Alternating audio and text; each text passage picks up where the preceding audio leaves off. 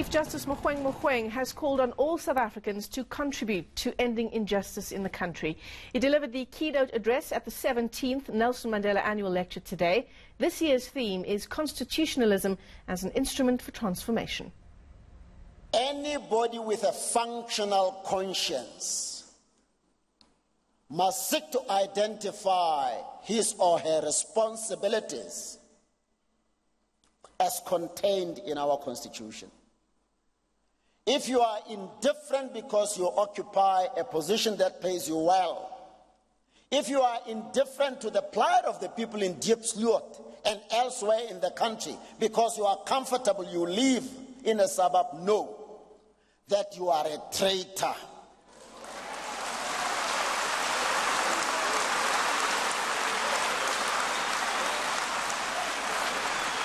And you are a traitor of our Constitution. You are a traitor of Nelson Mandela. You are a traitor of any other person who suffered for us to get to where we are.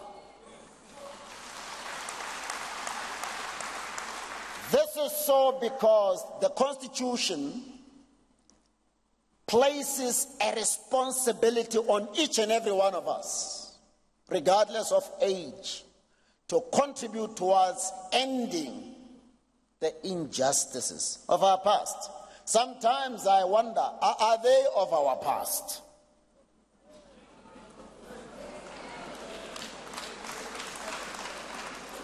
And sometimes I lament why we don't have colonialism and apartheid in our constitution. Because they would have served as a constant reminder of exactly what it is we mean when we say there is a need to give practical expression to the injustices of our past. The Chief Justice says very little will be accomplished as long as people are ignorant of their constitutional rights. The Constitution is an instrument for building.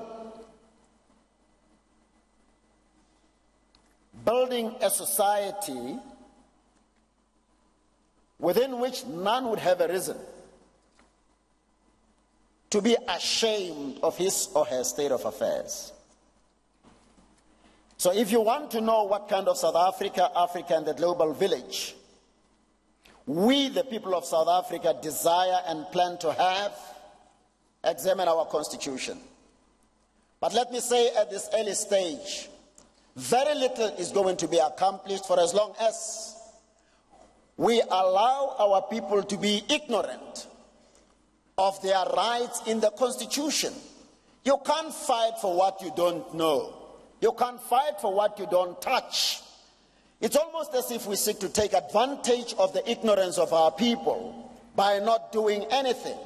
The greatest facilitator of sustained injustice is keeping people ignorant of what they are entitled to. Justice Mogoeng has encouraged South Africans to seek to understand and learn more about other cultures, languages and religions.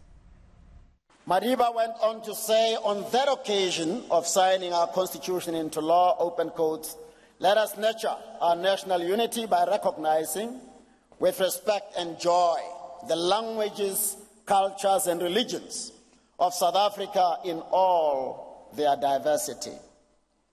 We need unity now more than ever before. It has got to be something that each and every one of us worries about on a daily basis. And the simplest way to start is to seek to understand or to know more about another.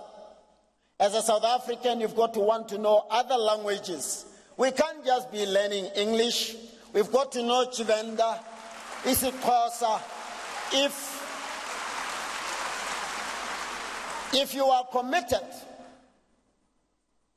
to building the unity that we so desperately need and without which we will be as stagnant as we have been, or relatively stagnant as we have been for the past 25 years. Know the languages, know the cultures.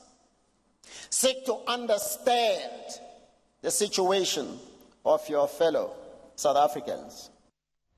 Well, struggle stalwart Mamphela Ramphele also attended that lecture. She says South Africans have forgotten the value of the Constitution.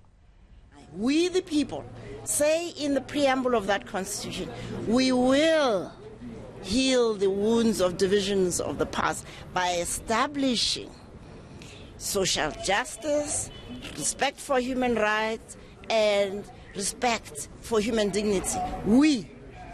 And if we want it done, we need to make sure our government at the local level, at the provincial level, at the national level does that. Our parliament should do that. The private sector should also do that. The, the labor unions are not educating their, lead, their members to be informed citizens. So it's all of us who are responsible.